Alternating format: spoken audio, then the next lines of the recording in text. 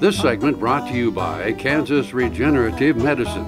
Your stem cells, your health, your life. Time over, we're back.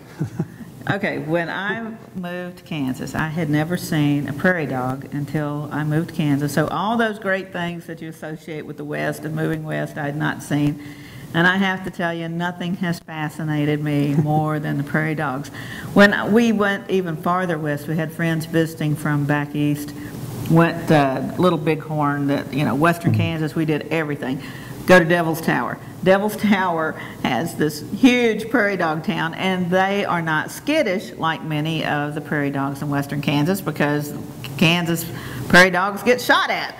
So the ones up at Devil's Tower, where it is a protected environment and they can't shoot at them because it's a national park and all that good stuff, they're not skittish. So you can, I, everybody's looking at Devil's Tower and they're like, oh wow, and I'm over here with the prairie dogs, and I'm like, they're the funniest little animal because you know they're standing up there and you know keeping watch and then it's like oh phone call and they just jump down you know back into the hole or you know supper's burning they're just they're the funniest little creatures Can you eat them?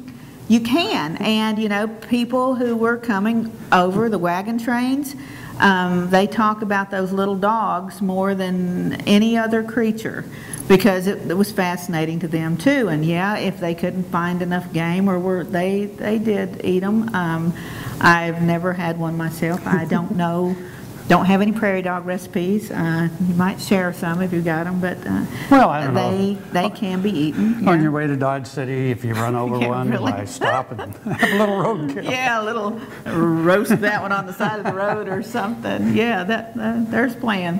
Okay. Something else for the menu. Let's take a look at those little creatures.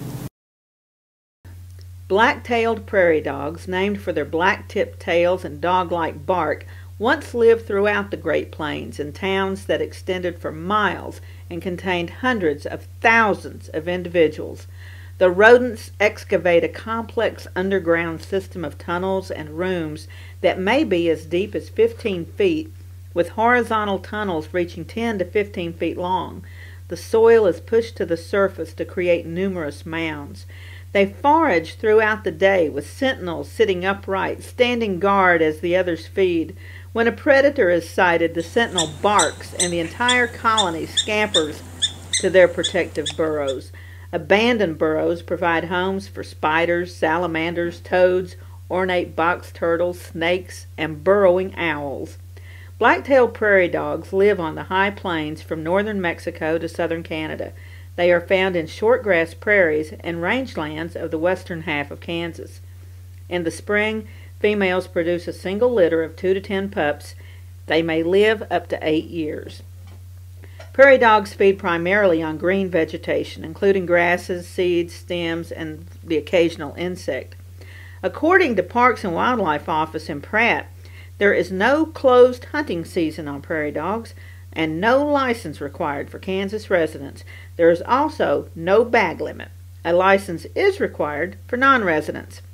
Andy Chappell, wildlife biologist at the Cimarron National Grasslands, said that plague sweeps through the prairie dog population periodically. The last one occurred a couple of years ago, said Andy, and spread like wildfire, leaving less than 2,000 acres of prairie dog towns throughout the more than 100,000 acre park.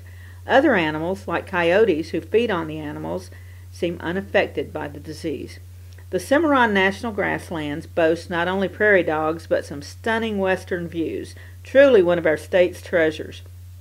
Their offices are in Elkhart in southwestern Kansas, so give them a call and plan a visit.